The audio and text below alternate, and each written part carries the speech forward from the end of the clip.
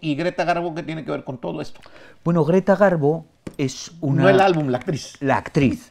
Greta Garbo, la actriz, dejó la actuación a los 36 años. En un momento de su carrera iba fantásticamente bien, ella decidió nunca más eh, volver a actuar.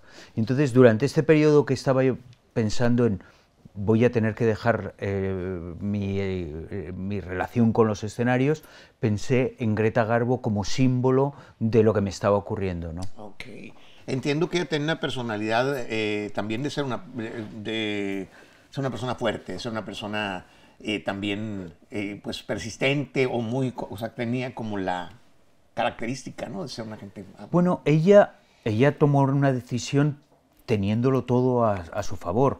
Fue una, una, decisión voluntaria. En mi caso no era voluntario, en mi caso era, ah. digamos, que las circunstancias me obligaron. Yo siendo eh, ajeno al rock, a las noticias, no al rock, eh, lo anunciaste públicamente, hubo una rueda de prensa donde se dijo, Bunbury se retira, no hay más conciertos, o cómo fue? Hice un comunicado. Okay. Escribí un comunicado y lo, lo subí a, mis redes y, la, y la prensa se hizo, se hizo eco del comunicado. Ok. Eh, ¿Y el montón de emails o cómo te contactas o, cómo es como tú mantienes una interacción con tu público? ¿Lo haces tú directamente? ¿Tienes un community manager? Eh, ¿qué, qué, qué, es lo que más te decía la gente? Bueno, yo en ese momento tenía, tenía un community manager y lo subía a las redes. Yo no soy una persona que eh, tenga mucha relación con las redes sociales, personalmente.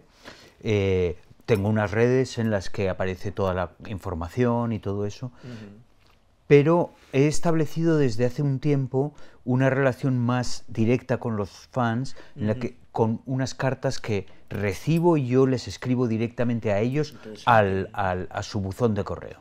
¿Buzón de correo regular de, o de correo electrónico?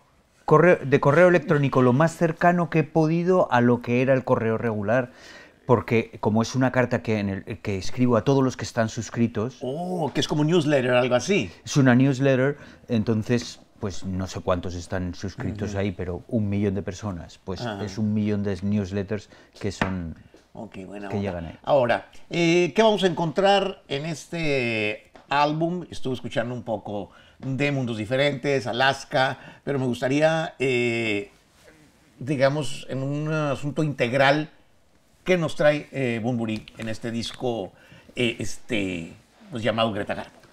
Bueno, es un, disco muy personal, es un disco en el que hablo de este vaivén emocional, de las subidas y bajadas, de la, un momento complicado para mí, pero también un momento en el que de repente veo una, una puerta que se, una puerta que se cierra y otras muchas que se abren, ¿no? El, todas las posibilidades que tenía delante de mí.